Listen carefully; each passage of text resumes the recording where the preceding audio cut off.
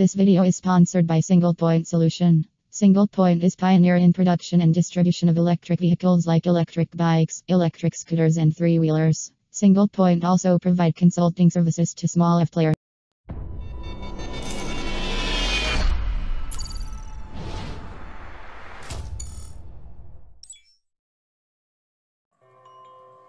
Hello friends, I am Kanchan from Akulmach Technologies and you are welcome to our show. Today, uh, our show is mixed of little sad news and of course some uh, ideas about women empowerment when it comes to uh, armed forces in India. And uh, I want, just want to uh, tell you that uh, Dr. Vijay Lakshmi Ramanan, who was the first woman officer of, of Indian Air Force, who was commander, passed away on 18th of October this year. So it was a bit uh, sad news. Uh, but I also want to tell you that she uh, served, she got permanent commission in 1971. And she is also recipient of the Vishisht Seva Medal. And this brings to more crucial point is that what is the position of Indian women in Indian armed forces? To discuss about this topic, we have Sitesh Srivastav, who, ha who has a deep interest in corporate training. He is closely associated with radio broadcasting. So welcome to the show, Sitesh. How are you today? Thank you, Kanchan. It is a good day to on my side, and I hope it is good day on your side as well. Uh, it, it's fine, and the conversation that we are going to do is a very interesting conversation. How have you been? Yeah, I'm fine, and uh, as you know, today it's a sunny day here, so bit uh, kind of relief from all three four days. It was pouring like anything so today, as, as you know, we are discussing about uh, the position of women in armed forces because armed forces doesn't only mean uh, Navy, Army or Air Force, but also we have Central Reserve Force, we have Central Industrial Force, we have Border Security uh, uh Force, and we have Shastra Seema Bal. So why, why uh, women are so, uh, so much not as par with with uh, men in armed forces. So, Kanchan, I think uh, we have come a very, very long way when it comes to the participation of women in the Indian armed forces. Uh, in the modern history, uh, I can recall from Khub Ladi Mardani Photo Jhansi Wali Rani Thi. From those days uh, till the women in the Indian National Army, which was by, established by uh, Subhash Chandra Bose, and then into the Indian uh, Army of the Liberated India. And therefore, it, it marks a, a progress uh, from those days till uh, today. And Vijay Lakshmi Ramanan, the retired wing commander, was definitely uh, a trailblazer in that.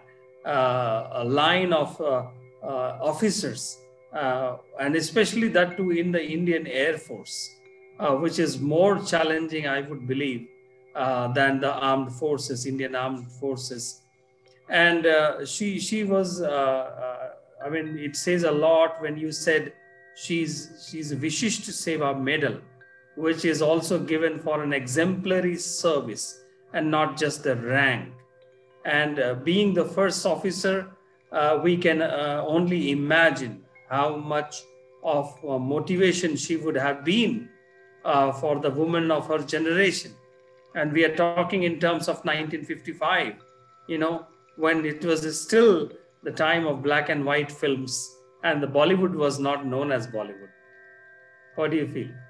Uh, yes, definitely. And uh, uh you have mentioned uh, uh, about the army of Netaji Subhash Chandra Bose. You also mentioned, mentioned about Rani Lakshmi Bai. But in between, there was a decline uh, when it comes to women joining forces or women, women joining police force. Because uh, what I have come to know in recent years is that in 1992, Indian Army began inducting women officers. And that too in a non-medical um, area because earlier there were used to be all medical related services like nurses and all that Then uh, in 1993, there was uh, Priya as one of the first 25 women to join army officers uh, wing in India. So, uh, well, you said that there was, I think, in between there was a decline in this, and I think it has increased maybe by uh, 2000 onwards. So this is a rise of uh, in recruitment in the army when it comes to Indian women. That's true. That's true. And it, it feels good uh, when I see our uh, women soldiers, women police officers, women security officers at various public inst- establishments and institutions. And, and that shows uh, uh the integrity that this democracy has to for uh, having an inclusive way of bringing uh, both women and men together in all walks of life, in all walks of professions, and especially in the security uh, sector. Uh, so I think it, it is uh, this passing off of uh, Ms. Ramanan needs to be celebrated, and more um, women, young women, especially from the tier two and tier three towns, need to be told about her story, her journey, and motivated to take up uh, the career they, they, uh, they want to choose. Many times I feel uh, many of the young women, they don't even know the career choices that they have. They are not even told about it. Some biases are still prevalent in most of the Indian homes. And therefore, uh, it takes a courage of a family uh, to you know take that leap of faith uh, with with the woman child. And i think uh, uh, dr vijay lakshmi ramanan's family especially her parents uh, need to be thanked that in those days when when it was still not a known thing they promoted her daughter to join the armed forces though it was on the medical side but it was it would have been definitely a rewarding and a very, very rewarding career uh, that I can see. And uh, uh in 1979, she retired. And then she served as gynecologist to almost all the Air Force hospitals. And that, uh, uh that goes as a tradition in, in, in the Indian Armed Forces. Uh, she is respected in, in the army hospitals across the country. AFMC Pune Air Force Medical College, Pune is a very, very known uh, hospital and uh, where uh, she has been uh, a celebrated gynecologist. So I think this is the opportunity where we can take uh, her story to the masses, to the middle class homes, upper middle class, lower middle class homes, where and and uh, where the where the women still are going through uh, some of those biases which should be removed because they are equally competent to be in the workforce, to uh, stand shoulder to shoulder with men. And uh, now we even have pilots in the Air Force. Right. And along with the Vijay Lakshmi Ramanan, I also want to mention uh, that uh, uh, a very important name is Dr. Barbara Ghosh, who in October 1976 she became the first uh, woman officer in the Indian Navy and to attain a rank of commander. And along with this, uh, Dr. Punita Arora, commissioned in 1968, is the first woman in Indian Navy to reach the second highest rank as a lieutenant general and first woman vice admiral. So, but uh, uh what I think is it took uh, almost uh, some time 2000 when when we got first woman uh, uh, officer who got gallantry award is lieutenant colonel mitali madhumita so it took a lot of time to really accept the courage uh, of women especially in armed forces isn't it yes uh, i think the the story and the movement and uh, the mobilization of women into the Indian armed forces is a story which is not as smooth as it sounds like today. It had its own checkered uh, movement of progress. recently there was a Bollywood movie um, uh, also. I, I, think you might remember the name of the movie, and it was portrayed as in a negative shade of light, if I am correct. Right. Uh, right? What was the movie name, Kanchan? Uh, actually, I uh, have uh, because it was in uh, in in the news, but I think it is about uh, officer who who was portrayed very negative role and kind give bad name to Indian Air Force, where it is uh, blamed that uh, Indian Air Force uh, deal with gender bias, which was absolutely wrong. So, uh, and that I think it is was in court, and um, uh, Indian Air Force had already won this case, I guess. And uh, yeah, so this was this was about Gunjan. The movie was Gunjan Saxena's biopic. Right, right and it is uh, asked Dharma Production to uh, put hold on this picture, put it on shelves. So uh, this movie is not in the market as of now. Right. So I think uh, it, it is, it is uh, I think uh, we need to kind of take this as a campaign for the women.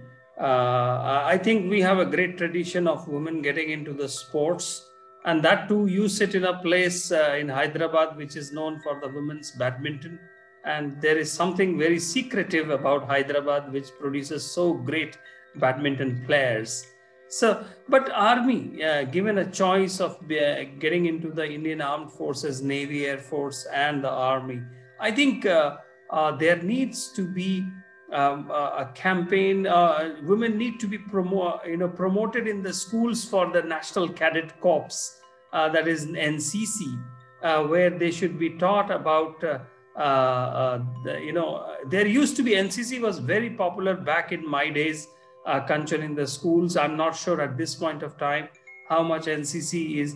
NCC is a very great place to, you know, introduce the armed forces into the life of a student. And I think that is a great place for the Indian women in their schools, the girls' schools, the co-education schools, the colleges, and, and even in the you know uh, middle or higher secondary schools. Yes, uh, I think uh, in recent year we have seen uh, some changes. Like if you uh, look uh, in the data of uh, Indian Air Force, Indian Air Force is inducts women in all roles, including combat and support roles. As of now, till September 2020, there's are 1,875 female officers, including 10 pilots and 18 navigators. So there is definitely a rise in the in the recruitment in armed forces and also a change in the uh, perspective of uh, families and communities towards women going in the armed forces. And that is very, very crucial. Correct, Kanchan. And I think uh, uh armed forces is definitely a very coveted position, uh, coveted uh, area to be. Besides that, there are other areas National Security Guard, Special Protection Group, Railway Protection Force, National Disaster Response Force there are many avenues that women can get into. And I, I, I, just as i told you i'm very proud to see them at least in the airports uh, whenever i fly. And uh, it's it's great to see their integrity great to say see the professionalism that they bring uh, in their jobs. And uh, there, there is no way to feel even an iota of doubt that they would be any lesser in in you know taking care of the security work that they are entitled or they have been asked to uh, do so. I take uh, i would like to uh, suggest one step further that every each and every indian should be given at least 2 to 3 years army training before really uh, taking up job. That will ensure a discipline in the life and i think uh, nationalism will also be get increased by this and people who uh, are creating sometimes fake news because nowadays it is a fashion to create a fake news about everything. Especially creating a fake news for for army they will think twice to really come out with a fake narrative narrative. What do you think? No that is that is actually becoming a more bigger a problem. Uh, the deep fake news the fake news it is a whole industry all around and uh, there there are so many things which can influence uh, nowadays in the digital uh, media that we are almost glued uh, glued to during our waking up time. And uh, it has in fact eating up our sleeping time as well. It's very easy to manipulate our mindsets. And especially on the women's stories that are going around uh, uh, I, I, mean these are very very few uh, depictions are motivating uh, in the in the popular media. Still the stereotype stories are being you know dished out again and again either in the radio uh, or i can see in the television medium.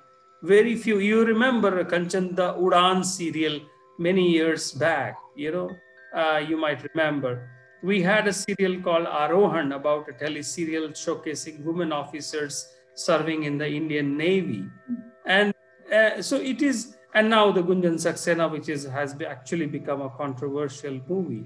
There was a web series in, uh, called The Test Case in 2007 about the first woman training to serve uh, the combat role.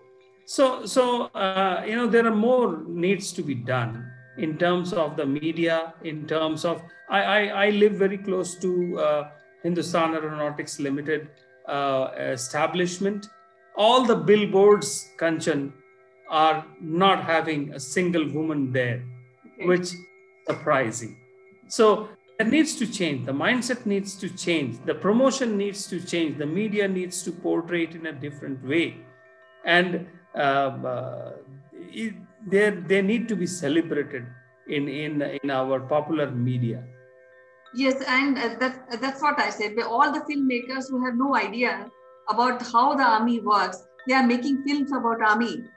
So I think it's very, very, it should be mandatory for each and every citizen to really go and take a training at least for two to three years in army and know how army works.